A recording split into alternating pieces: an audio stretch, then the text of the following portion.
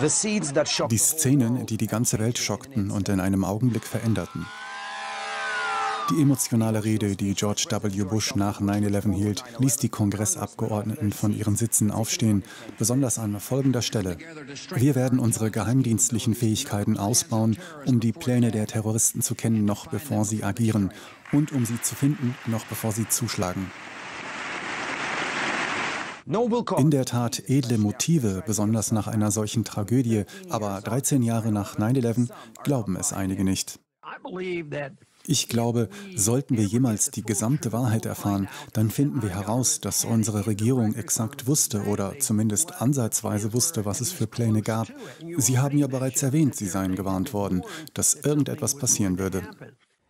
Ein Jahr nach dem 11. September wurde der Commission Report mit der offiziellen Erklärung veröffentlicht.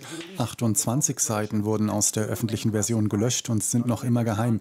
Nicht nur ist der Inhalt vor der Öffentlichkeit geheim, sondern auch der Grund, warum sie geheim sind. Die wenigen, die die Seiten gesehen haben, drücken ihre Bestürzung aus. Man geht hinunter in einen bewachten Raum. Ein FBI-Agent sitzt im Raum und man kann keine Notizen machen. Was könnte in den zensierten Seiten stehen, dass die Regierung so unwillig ist, sie der Öffentlichkeit zugänglich zu machen.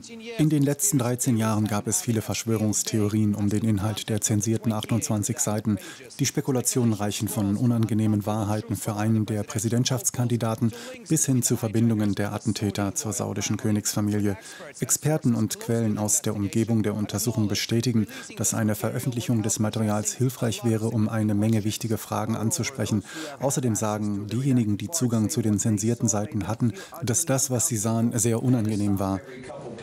Ich musste alle paar Seiten eine Pause machen, um das zu absorbieren und mein Verständnis der Geschichte der letzten 13 Jahre und den Jahren davor neu zu arrangieren. Es fordert von einem, noch einmal über alles nachzudenken und ich denke, das ganze Land sollte das durchmachen. Das wird schwer und könnte beschämend sein.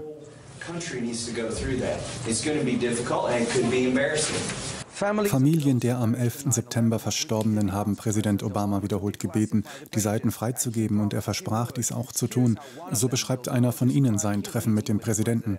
Das war vor drei Jahren und es ist noch immer unklar, ob der Präsident sein Wort halten wird. 13 Jahre der modernen Geschichte und die Leben der Betroffenen sind geteilt in Vorher und Nachher. Alexei Roshevsky, RT, reporting from New York City.